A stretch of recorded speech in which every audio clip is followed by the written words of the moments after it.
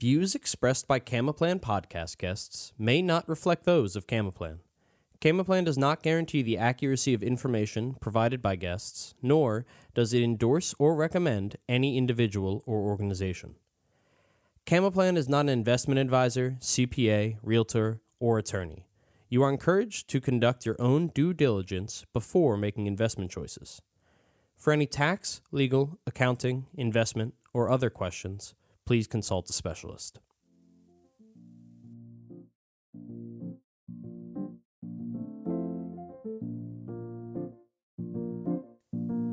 Hi, I'm Michael Duncan, and welcome back to the Road to Financial Freedom.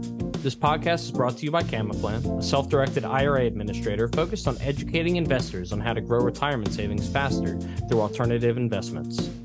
In each episode, we're going to take an in depth look at the many roads taken to financial freedom and how they differ for each of our guests. Our goal is to help the listeners learn how they can achieve their own financial freedom through the experience and stories of experts that have done just that. Today's guest is an experienced serial entrepreneur and the founder and CEO of Percent, the modern credit marketplace. He was first inspired to transform and modernize the private credit industry after working at several global financial institutions where he witnessed multiple inefficiencies. Wanting to address the lack of standardization, lack of transparency, and limited access to private credit, he founded Percent in 2018 and has been working to innovate the space since then. I'm very excited to welcome Nelson Chu to the show. Nelson, how are you doing today? I'm good. Thanks so much for having me.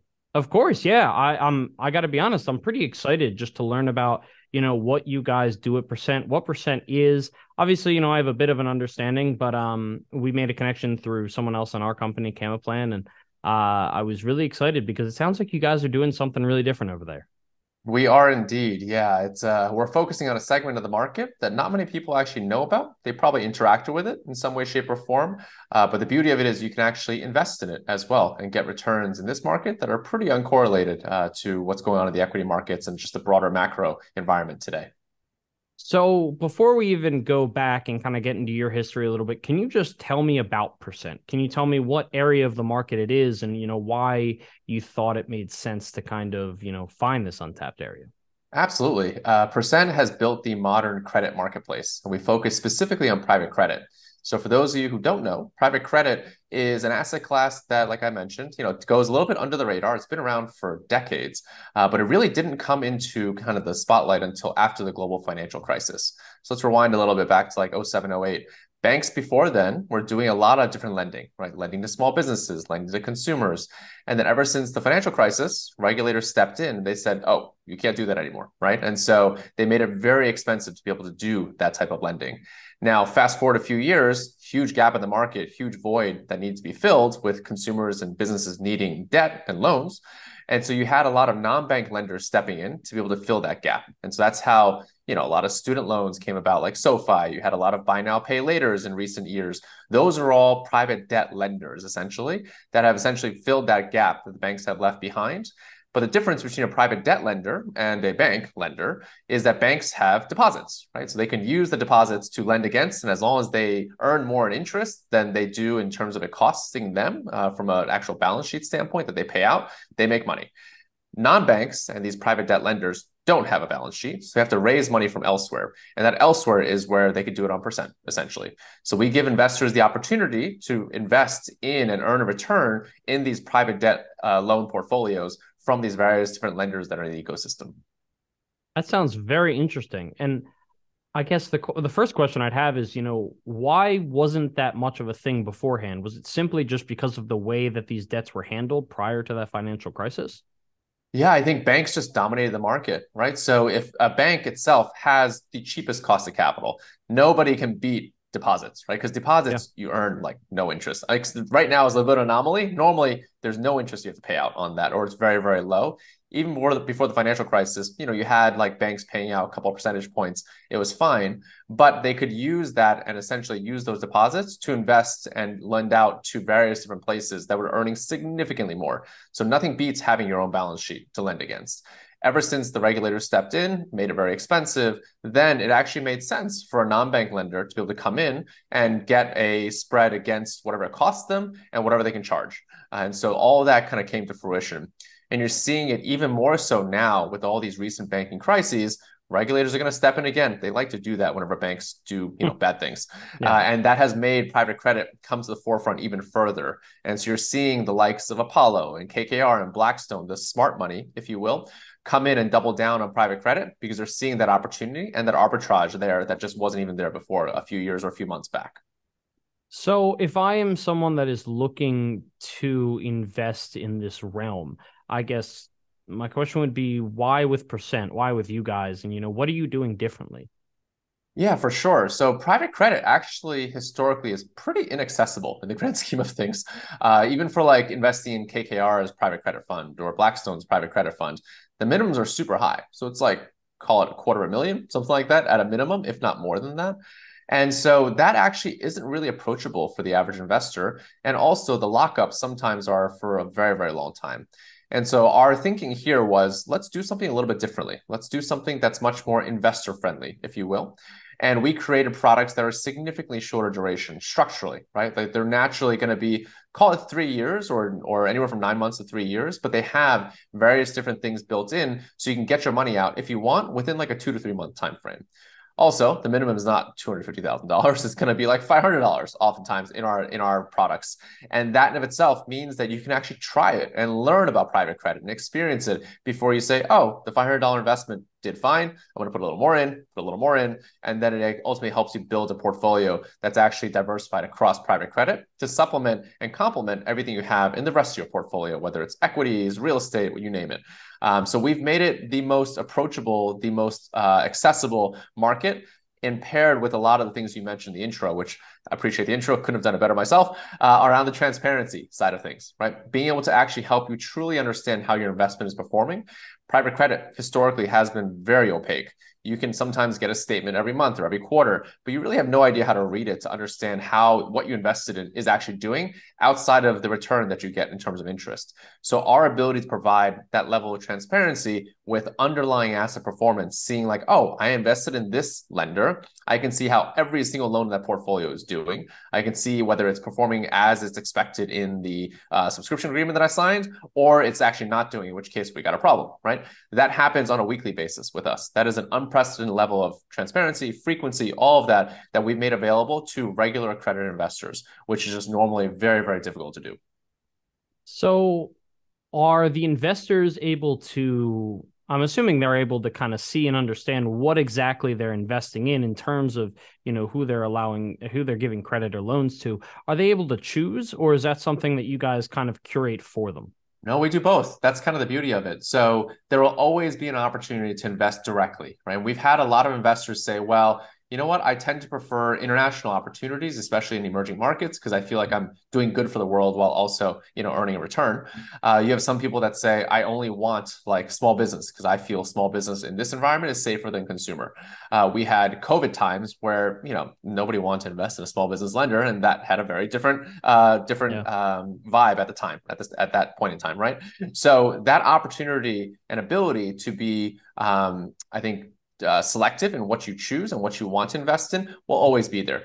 Now, that's not always the most fun thing to do because you have to be very discerning. You have to keep managing it. And the more, you know, I think the more you have other stuff going on in your life, this becomes less important or less interesting to do. And you want to kind of get almost like a diversified basket, right? So we also offer what's called a blended note.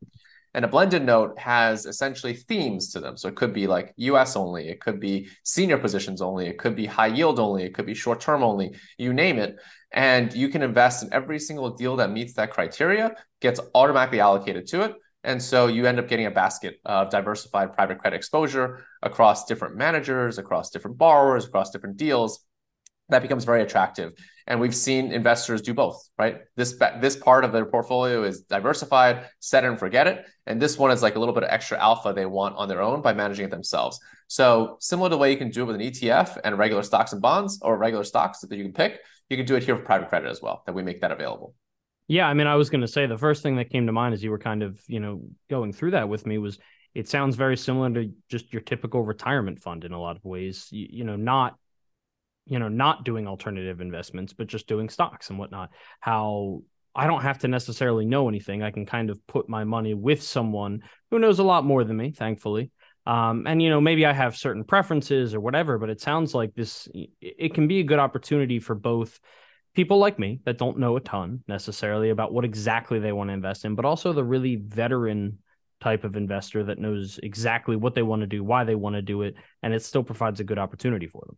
Exactly. And we've had very sophisticated, regular accredited investors on the platform who we've tried to say, you know, you invest in like 50 things. You should probably just go into a blended note. They're like, no, I actually vet every single one of these opportunities. And these are the 50 that I like. So I was like, okay, that's fine by me. All the power to you. I'm glad we give you that option, but it's a lot of work. So yeah. Oh, yeah. Yeah. I mean, over here at Camaplan, we deal with a lot of, uh, I mean, we deal with entirely uh, retirement funds and you know investing uh, with your self-directed IRAs, 401ks, all that kind of stuff. And we run into a lot of that where we're not actually allowed to you know suggest or recommend and it just turns out that people have to do their own due diligence and that seems like a really interesting kind of mix of opportunities with you guys where again you're doing the due diligence for them a lot of the times for people that just want to be able to kind of set it and forget it but are sick and tired of doing the stocks and stuff you know, especially with the way that the world has been recently, you know.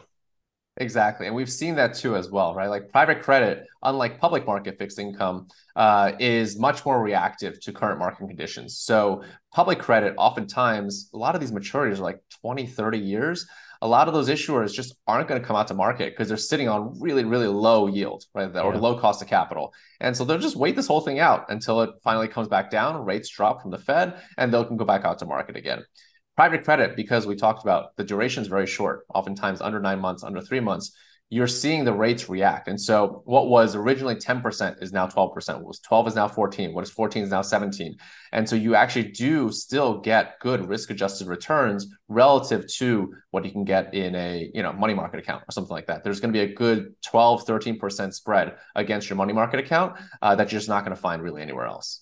Yeah. I mean, it sounds like an incredible just you know, different kind of opportunity, which is exactly what uh, you want it to be. So, um, I do want to kind of go back a little bit now. I want to talk about, you know, how you got here. And uh, I mean, like you said, like this is kind of a niche. This is something that was untapped. And um, I would love to explore, I guess, how you found that it was untapped or how you decided to make this decision to found a company. Um, so, For could sure. you just take me back to the beginning, wherever that may be? Yeah, well, we're going to go back to when I was born. Uh, so, in many ways, I feel like I always, I was always destined to be an entrepreneur, if only for the fact that I was an incredibly rebellious child. I didn't listen to anything my parents said. Uh, so, I grew up in suburban New Jersey, you know, middle class upbringing, nothing too crazy. Mom was super traditional, and so she thought if you go to an Ivy League school, you get become a doctor, lawyer, banker, you're going to be set for life. And my dad was the polar opposite. And so they didn't always see eye to eye on how to raise me, uh, but I turned out okay, I think, at least. Uh, so my dad was an entrepreneur in his own right. He had actually co-founded a uh, software company with a bunch of his friends in the airline crew optimization space, and so very very specific. Uh, but yes. back in the day, call it in the '90s, uh, if you flew on any airline, they actually scheduled the flight attendants and the pilots on that flight with a massive whiteboard and a bunch of index cards at the beginning of the month, which doesn't sound very scalable. And Southwest probably still operates like that today.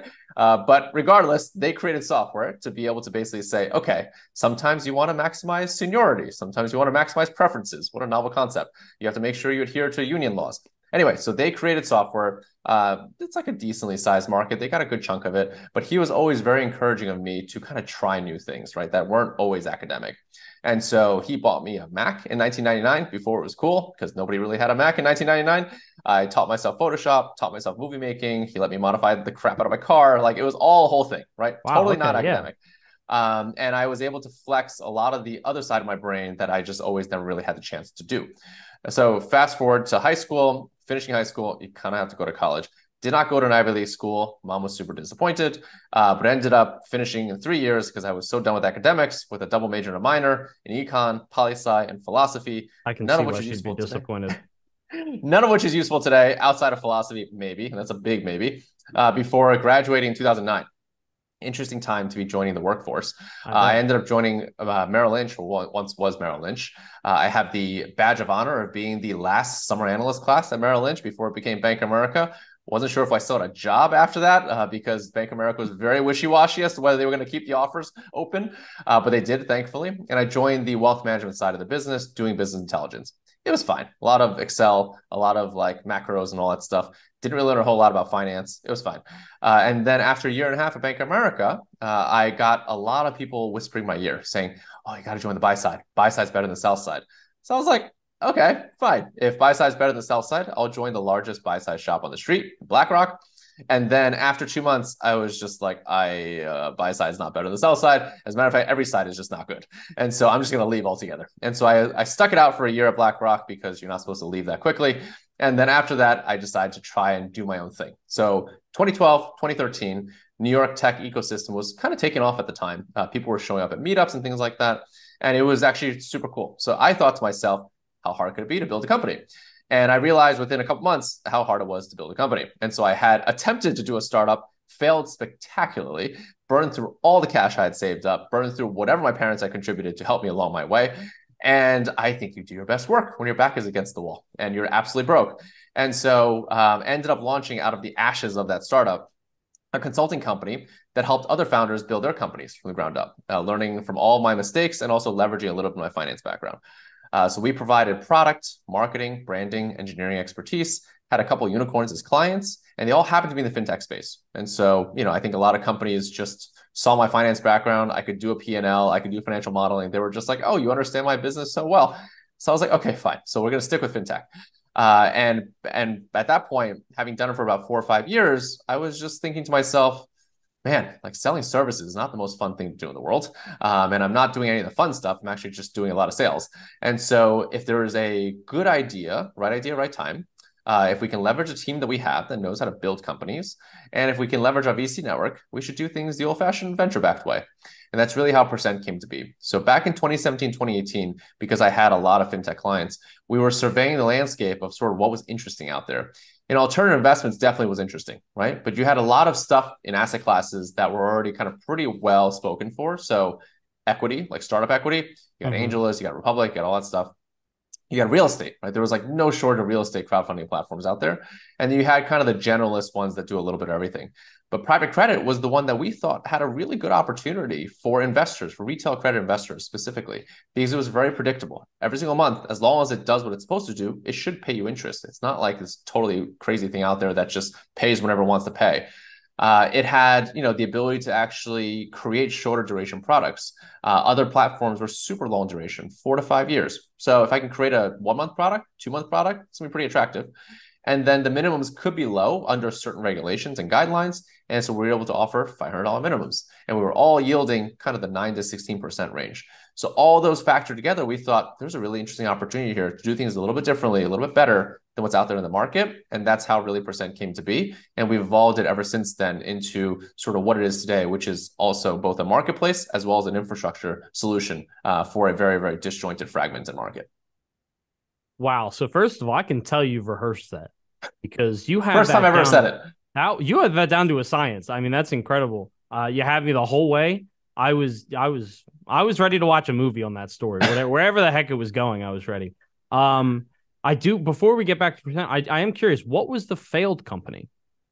Everyone always asks me that. All right, well, so you, ma- you make a big deal out of it. I know, I know. So. I gotta tell it. All right, so back in 2012, 2013, um, there was a lot of hype around social news. And so I was actually always interested in reading the news. Uh, but my thinking was, you know, people are so stuck on social media these days, they're actually not reading good content. They're reading like very uh, trashy is not the right word, but like lowbrow content, I think is the way to look at it. Yes. Yeah. Um, and so things like The Economist and The Atlantic and all these like, you know, um, highbrow pieces are just not really getting the readership they used to. So the theory was if we could crowdsource what everyone was sharing on social media around like pieces of the article and things like that, then you can actually highlight the key points in the article without having to read the whole thing. So you could read the language of the economist without reading the whole like 20 page thing. Um, that all sounds great, except if you're going to do crowdsourcing, you need to have a crowd. And I didn't really have a crowd because I had no users. And so that inevitably will fall on its face. Uh, and that's sort of where, after six months, I realized that, you know, I picked up a little bit of sales skills, picked up a little bit of design skills, picked up a little bit of product management, but I had no idea what I was doing. And so that was sort of what uh, taught me a lot, at the very least, about what not to do. And then helping founders also not make the same mistakes I did along the way. I mean, honestly, it sounds like a it sounds like you were almost maybe too early on the idea.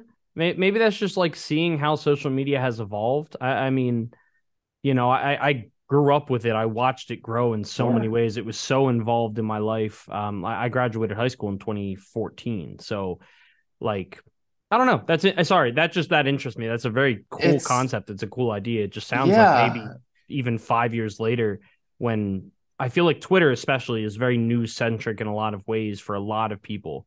Um, you know, maybe that would have. I better. I thought it was doing something good for the world too, right? Because like you do want people to read, you know, Yeah. higher level language and like Yeah. higher level written English. Um, and so I thought it'd be very helpful. Uh, but I think, you know, media is hard. Like uh, outside of the flagship like New York Times, Wall Street Journal, Bloomberg, those guys, you look at we're recording this at the end of June. Uh, you look at what happened to Vice, what happened to BuzzFeed, like it's very telling about sort of how Yeah. difficult it is to build a media company.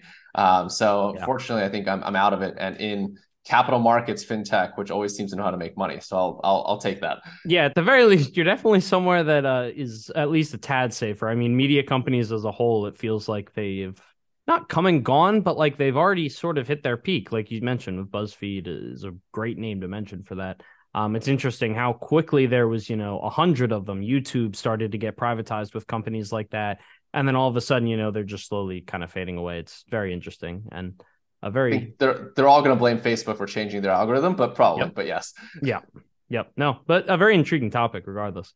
Um, but you know, something that I normally like to talk about on this podcast regardless, and you actually brought up is uh, I love seeing how people learn from their failures. I'm a big believer in the idea that you learn more from failing than you do from succeeding most of the time. Um, so I'm curious, like, what did you learn from those failures in particular that helped you, you know, obviously with your consulting company and helping other companies avoid the mistakes that you made, but also in the form in the formation of percent outside of, you know, not doing a media company.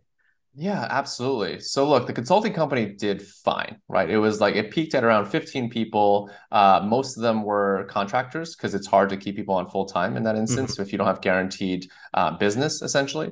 Uh, and we topped out at close to about a million in revenue uh, when all was said and done in our best year. It was fine, right? Nice little lifestyle business. Um, but the the difference is it taught me so much about what to do, and it taught me so much about how to build a company. Um, and I think in many ways, uh, the, a successful startup comes down to the team that you have, the ability and willingness to be nimble, a lot of luck along the way, and also making less mistakes. And all those things together make for a good recipe that it just at least somewhat ensures your survival. Because in many instances for a startup, if you can survive long enough, you're going to make it in some way, shape, or form. Uh, so on the consulting side, first time being on my own, right? First time Yeah. running a company, first time managing a team. And I made so many mistakes along the way, like between the incorporation side of things and not listening to my dad about drafting solid legal agreements, to how to charge clients, to how to manage a culture, which I didn't really care about at the time. I was like, I'm paying you. How much, you know, how much more do you need? Like, this is work. And before realizing that, yeah, like the team that you have here today is going to make or break what happens here. Yep. And they have to be bought into the mission, the vision, and all of that. And so it was a learning exercise for me in all the different ways I've tripped up in that consulting side to not make the same mistakes here at Percent. And I've been very fortunate. I think we've been very fortunate as a company that we just haven't made a lot of mistakes along the way. Uh, and you know, I I was I credit the consulting company in teaching me to be even more of a generalist than I ever was before. So when we first started Percent, I was the only designer because I ran you know an agency that knew how to do design. Right, I was Yeah. subbing in for our designers every once in a while. Uh, we knew how to do marketing uh, because we gave guidance on that, and we knew how to hire the right people uh, for that to be able to help us build up an email list. Right, all these things are things that matter uh, in the in the little things that just if you haven't done it before will take a ton of time for you to learn and get a crash course in. That starting percent at 29 years old like i had i had about five six years of experience on that in knowing what to do and what not to do uh, that just helped us get off the ground significantly faster with a team that had worked together before and that made all the difference. Um, so yeah it, it's hard to I, I would say probably the biggest change that I made between the consulting company and Percent was around the culture side of things. Uh, because when you have a services based business, you actually hire many times for like urgent need and Mhm. not the potential what they can become, because that requires a lot of training, a lot of oversight, mentorship, things like that, right? And so naturally, if you hire for need, then you hire people that tend to be a little more junior, and a lot of them graduated fresh out of college, right? So they actually had no work experience. And so it required a lot more micromanagement on my side, and culture was almost like on the back burner. And then when we got to percent, you hire, we have VC capital, you hire for potential, you hire people that have tremendous upside. And the designers at, at my consulting company had upside as well. And many of them are still here with us today, but it takes years to kind of develop that, right? You can't mm-hmm. just get it fresh out of school.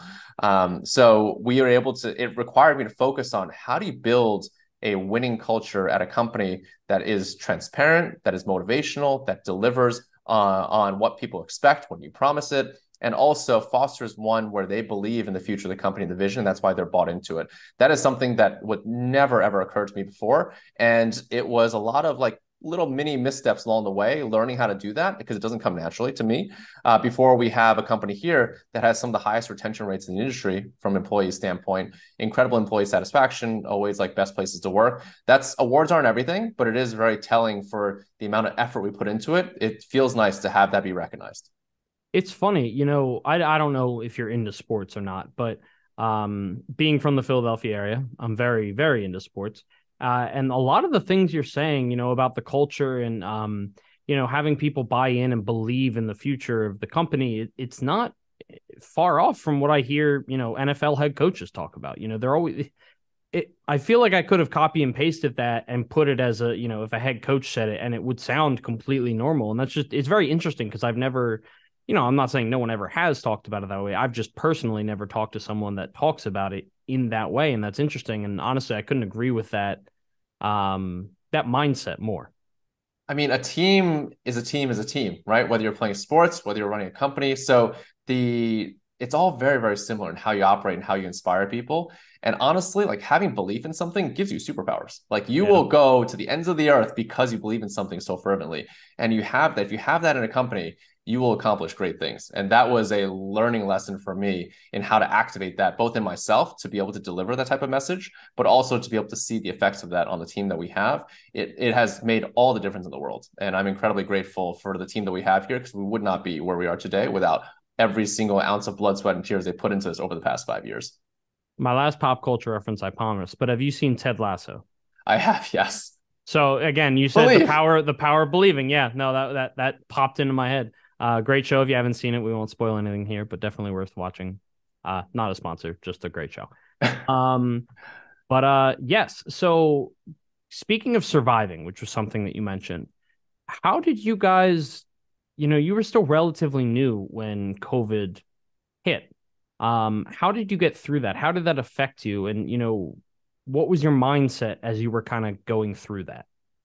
It's interesting. We just segued off of the team, but that one of the key tenets of our culture here is persistence more than anything else. And uh, the reality is, like I mentioned, if you survive long enough, you're going to make something for yourself as a startup, right? And we've been around, we just celebrated a five year anniversary about a month and a half ago. Um, and it's crazy how time flies. Uh, but we've been hit so many times along the way. Like it's been absolutely crazy. And to be frank, our company, as it existed for the first four years of the company's life, is actually not very VC backable, just in general, uh, because we have a technology company, obviously, which yeah. is what VCs are interested in. We don't have a lot of tech to show for it because we need to run an investment bank to tell the tech team what to build over time. And so VC backed companies don't tend to be investment banks. That's like very, very unusual. And you also burn a ton of cash because running an investment bank is very expensive and yeah. running a tech company is also very expensive. So we had a hard time raising capital constantly along the way. It was just a challenge every single time. It granted, it got easier and easier uh, with every single round outside of the most recent round because the market's changed dramatically. Yeah. Uh, but still, it's it's not that simple, right? So um, we have found a, in, in ourselves innately uh, the ability to persist through whatever comes our way, whatever gets thrown our way. And part of it is down to one of the mantras that I've always lived by, having got, seen the ups and downs of the consulting company, which is that nothing's really as bad as it seems. Like, you know, you could have lost a client. You could have somebody that just you know decide to say i'm not i'm not buying whatever you're selling. Uh, but the reality is you know it's going to be fine. You still have a team that loves you. You have a company that's still there. Sun will come up tomorrow. It's going to be okay. Don't sweat about it right? But also nothing's ever as good as it seems either. You could have had the best meeting in the world. They said we're done deal. It's all good. And then they drop out. And you're like what yeah. the heck? Like why did they ghost me? And it's okay. Like it happens right? So if you stay level headed throughout this process no problem is too large to surmount be perfectly frank. And that's how we've kind of carried ourselves through. So to your question about like COVID and then like a super hype cycle in the tech uh, tech uh, valuations and then a super down cycle in a tech valuation side and over the course of three years three and a half years it's been a wild ride right for covid in particular um, that has a direct impact to private credit right so small business lending was a big is a big part of private credit just in general. Yeah. I don't think anybody wants to invest in a small business lender in April 2020. Like it's kind nope. of a little bizarre. So we were fortunate in that we had only been around for nine months at the time. And so mm-hmm. we didn't have a ton of stuff out there. And we were able to navigate and dedicate and double down our efforts on what we had to be able to make sure they survived. And we actually managed to navigate COVID with just one casualty effectively from a borrower standpoint, when we had almost close to a dozen at the time in terms of clients. And that one, there was like no chance, right? We were subordinated yeah. to Ares, Like Ares will always do very well for themselves. They're a great firm, but I don't want to be under Ares, I think is the big lesson learned here. Um, but outside of that, you know, we got through it and the market turned very quickly, fortunately for everybody's benefit, uh, where we were able to kind of pick things back up again. Now, in the hype cycle, it's also important to not get caught in drinking your own Kool Aid, right? So there is so much that you could fall victim to, like, we are the best, we are amazing, everyone else is doing great, this market is going to go up forever. We've always taken a very pragmatic approach to how we raise money, how we fund ourselves, and how we grow. And to that end, uh, we never raised at a valuation we couldn't live up to, even in the hype cycle times. And it's been almost interesting to see that the valuation that we raised at for our Series A is where Series A valuations have now come down to two, two and a half years later, right? Which is just, you know, I think we were hitting, we, I think we hit the fairway on that one in terms yeah. of staying the course. Uh, and then for the Series B that we just closed, which is one of the worst markets for equity fundraising ever on the VC side, uh, we managed to close that. It was oversubscribed. It was an up round in this environment, which is rare. But we can do an up round because our Series A wasn't at a crazy valuation. So that concept of pragmatism and persistence it will will go far. I think for anybody who is is looking to run, start, or anything like that of a company. No, that seems to make a ton of sense. And um, yeah, it's interesting. I guess I, I would have thought that, you know, being a relatively new company, only nine months old at the time of COVID, would almost be detrimental, but it sounds like it was more you know it was good it was helpful to you i would say if we had like i don't know 500 million dollars in debt outstanding when 9 months into our business right and we had the team that we had we would have been significantly impaired at that point because there was a lot of lenders who were far better staffed than us yeah. uh, who were just trying to scramble to figure out how to navigate this market um, so it was a blessing in disguise that we were so young at the time that we yeah. knew how to, we had enough resources to navigate the existing pool of assets and portfolio that we had. Otherwise, it would be a very, I don't think you and I would be talking today, to be perfectly frank, because I'm not sure we'd be around. Well, fair enough. Yeah. Um, yeah, COVID was a, it was a different beast entirely, something hopefully we don't have to deal with again anytime soon. Yes. But, uh, um, regardless, before uh, I let you or I ask you to plug all of your website and uh, all that kind of stuff and let the listeners know where they can find you, uh, the question I ask everyone that comes onto the show um, is simply what does financial freedom mean to you? It's a great question. Uh, I think it definitely means something different to everybody. Uh, I think financial freedom, it's choice, it's optionality, it's the ability to not have to think about anything else except for what you want to get out of life, I guess. Uh, and so, you know, the ability for money to almost not be an ob- not be of any object. Actually, it's an interview question I ask every single person in the firm, which is, um, if money were, were, no object, what would you be doing with your time? Uh, and uh, I guess I might as well answer my own question. Um, but financial freedom, if I were to have full financial freedom, unfortunately, I'm sorry to all of our VCs, is not to run a capital markets fintech company in the private credit space. Um, I'm a big like scuba diver. I'm a big like nature lover, and so I would love to open like an animal conservation preserve and just wow. hopefully keep a lot of these animals that are so incredible uh, alive for as long as we possibly can, and make sure they don't go extinct. And then also, um, as a big diver, I also see what's happening to the coral reefs. I see the fish that are eating microplastics, like that we're eating ultimately. And I would love to be able to fund research that solves the microplastics problem, right? Like there's a lot of interesting science happening on that side um, that would be fantastic to work on. So financial freedom means the ability to do things that I'm truly, genuinely passionate about, and hopefully be able to make a difference and impact on the world along the way. And maybe and hopefully, fingers crossed, percent will help us get there. So that would be the goal. Wow. Very well said, Nelson. Thank you. Um, and now, could you please uh, tell the listeners uh, where they can find you, how they can contact you, how they can reach out to you, all that, and the info again, of course, will be in the description of this episode as well. Yeah, absolutely. Very easy to find. It's we are percent, so it's just percent.com. Very, very simple. And then uh, our team would love to chat with you if you want to learn more. We have a little chat bot on the bottom right, but also hello at percent.com. Always easy. And if you ever want to talk to me, I'm always happy to chat as well. It's just Nelson at percent.com. Wow. Easy. I like hello. At that that's funny. I I feel like you never I've never heard of a like an introduction email like that. That's that that I'm gonna think about that for like the next week or so. It's very small, but that's something that's gonna stick with me. Um, so Nelson, thank you so much for coming on today. Uh, you were an absolute pleasure. I feel like I learned a ton about uh, a realm of finance that I really didn't know a lot about, and I'm very much looking forward to following your journey and you know hopefully speaking again sometime soon. Absolutely, We'd love to be back, and thanks so much for having me on today. Of course. And uh, as always, thanks for listening to The Road to Financial Freedom. Uh, if you enjoyed the show, please support the podcast by remembering to rate, review, and subscribe. You can keep up to date with us on Facebook or Instagram at Road to Financial Freedom Podcast. Thanks again, and I will see you next time.